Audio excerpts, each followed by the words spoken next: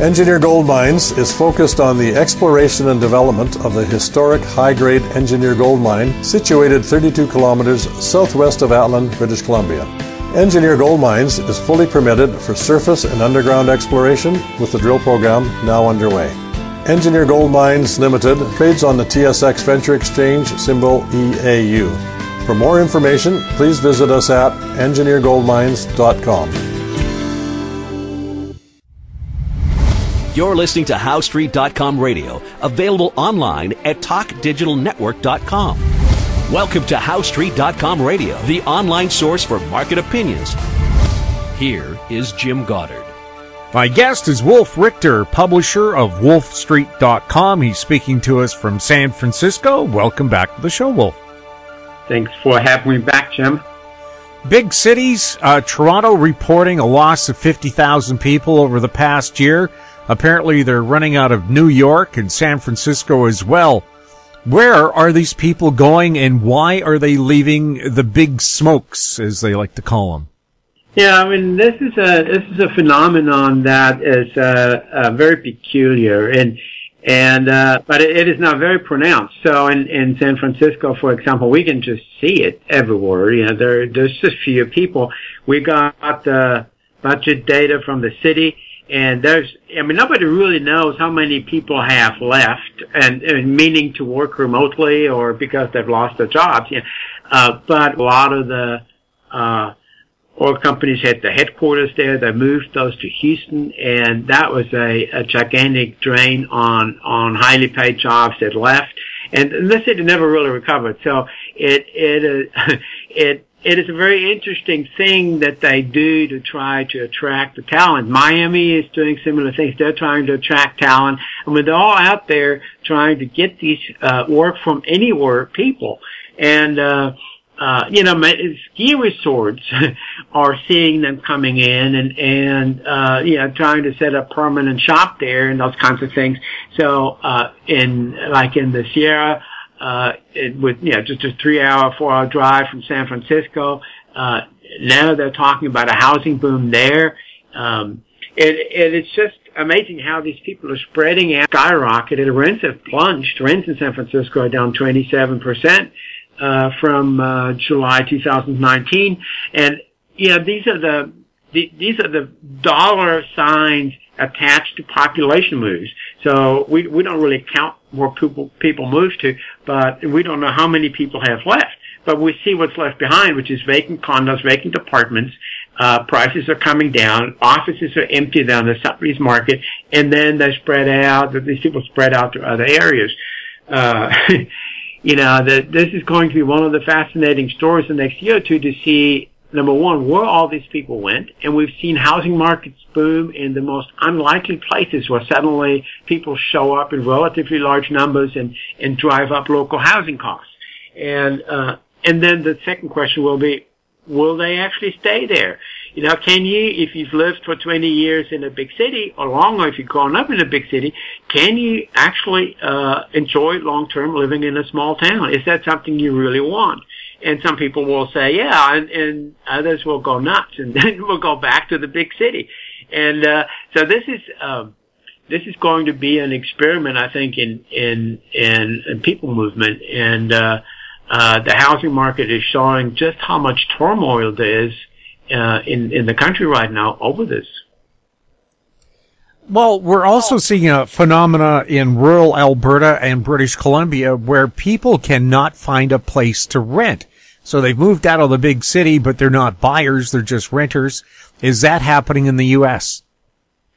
Yeah, rents have certainly uh, surged in some of the uh, cities that are close to the Bay Area or in the outer fringes of the Bay Area, for example. Uh, we've seen the same thing in New York City where rents in Manhattan have plunged and once you go further out, uh, rents are are are jumping. Yeah, people can find an apartment, but they have to pay more maybe than than somebody else would have had to pay a year ago. And uh, uh, I mean, we've seen rents in uh, Newark, New Jersey, across uh, the Hudson from Manhattan, uh, skyrocket. And um, uh, and it may be difficult now to find a place there. I mean, obviously, this is a very short trip from Manhattan, and And uh, so, if somebody wants to live there, uh, that that will be that be an interesting, quick move to do. And uh, but the housing market wasn't prepared for that. No one is prepared for these kinds of massive shifts in population. Uh, and uh, yeah, so that's I, I can see where this could be difficult in some communities find, finding an apartment and and yeah, the reaction of the market is rents will just skyrocket as soon as apartment inventory becomes scarce and the more people looking than availability. Uh, asking rents will just skyrocket. We, but that's a logical consequence. We'll have more with Wolf Richter right after this. Value from success, growth and discovery. Golden Arrow Resources is a well-funded gold copper exploration company with proven management and prospective properties in Chile, Argentina, and Paraguay. Golden Arrow trades on the Toronto Venture Exchange, symbol GRG, on Frankfurt, symbol G6A, and the OTCQB, symbol GARWF. For more information, visit us at goldenarrowresources.com or call Sean at 778-686-0135. Media recognition from Bloomberg, Reuters, recycling trade publications, patented process for 100% recovery of critical metals, including cobalt, lithium, nickel, manganese, aluminum. American Manganese is focused on recycling lithium ion batteries for electric vehicles. American Manganese trades on the TSX Venture, AMY, the US, AMYZF, and Frankfurt 2AM. For more information, visit AmericanManganeseInc.com or phone me, Larry Ray, at 778 574 4444. Welcome back. We're speaking with Wolf Richter. Wolf, what do you expect to happen with the U.S. dollar and interest rates? Well, so interest rates um, in the U.S. Treasury market have the long-term interest rates have risen. Uh, they've doubled over the past uh, four months, five months, and they remain low. So the 10-year yield is, is still uh, very low. It's it's uh, right now at about 1.1 percent. Uh, which would have been a record low uh, before the pandemic, uh, but it was at half a percent uh, in August. So it, since then, it has doubled. Uh, the 30-year yield has jumped up uh, a lot more than that, and uh, so this will gradually push up interest rates, but it hasn't happened yet. So the you know, the, the spread between the two is, is, is kind of what matters. And some mortgage rates, for example, are, are still very low. They've ticked up a little bit, but they're still very, very, very low, very close to record lows. Uh, the junk bond yields are at record lows. Um, so it hasn't moved across the market yet, but uh, in the treasury market, uh, uh, long-term yields have, have jumped significantly. And so this will gradually fade into first in the mortgage market and then eventually in, in, into other uh, uh, corporate debt markets. Uh, in terms of the dollar, you know, the dollar is right now incredibly short. Everybody expects it to fall further, and it has fallen a fairly good amount. Um, I, I think when there's so much short interest in the dollar, that's a sign that that probably uh, it it sort of reached the the bottom of of where it's going to be for a while. Uh, the Fed has not made any efforts to tamp down on the rising long-term interest rates. It seems like it's welcoming them, so uh, that would uh, uh, provide uh, some would eventually cool the market down a little bit in some of these debt instruments, including the housing market. You know, so when when long-term Treasury rates go up, the mortgage rates are are tracking it, and and so we'll eventually see some of that.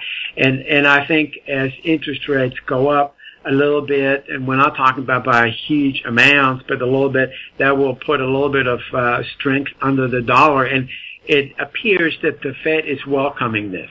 So uh, they're not uh, they're not even they're not even thinking about thinking about raising the short-term interest rates. But I think that it looks like they're welcoming the increase in long-term interest rates, and they're they've refused to do anything about it. Um, and uh, they expect that probably to, to cool the markets a little bit, and and uh, which would help strengthen the dollar, I think. As long as interest rates remain low, will uh, quality value real estate remain interesting? I don't think I've ever seen a, a real estate bubble uh, like we've got right now. I mean, there's a total frenzy that's going on right now, and um, there are people in the industry, uh, a large number of people in the industry that is now saying this is not sustainable. This is completely crazy, and uh, so this is probably one of the times where uh, you want to think twice before you buy. Um, yeah, the interest rates are low, yes, but when the house prices are so inflated, and if it's such a surge in prices so quickly, um, you know, the, the, you you could be uh, in in in trouble if you if you bought now, um, and you know, so I don't know that there uh, that that there are good values out there. Uh, I I just I would be very hesitant to buy right now. I mean, this is this. I, I've never seen a frenzy like this. This is completely incredible. Um, it's different than the housing bubble, the frenzy that we had in in 2005, uh, 2004 through 2006. Uh, it has different elements to it. Uh, there's different dynamic to it. Um, but uh, the results are kind of the same, and and uh, so this this is a, I think this would be a very scary moment uh, to be buying a house. We'll have more with Wolf Richter right after this. Aben Resources Limited is a gold exploration company with significant projects in British Columbia and the Yukon. Trading on the TSX Venture Exchange, symbol ABN, and the OTCQB, symbol ABNAF surrounded by world class gold deposits and mines. Aben's 23,000 hectares Forest Kerr Gold Project is located in the heart of the Golden Triangle in northwestern BC. For more information, visit us at abenresources.com. Don't miss out. Stay informed. Receive the HoweStreet.com weekly recap with thought provoking podcasts, radio, and articles delivered to your inbox. Sign up for the HoweStreet.com weekly recap on our homepage at HoweStreet.com.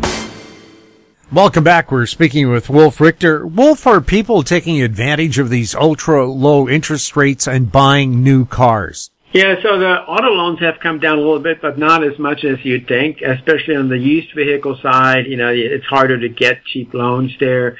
Uh, so they've, they've ticked down, but they're, they're relatively high compared to say a, a 30 year fixed rate mortgage, uh, loan in the United States where interest rates are now below 3%.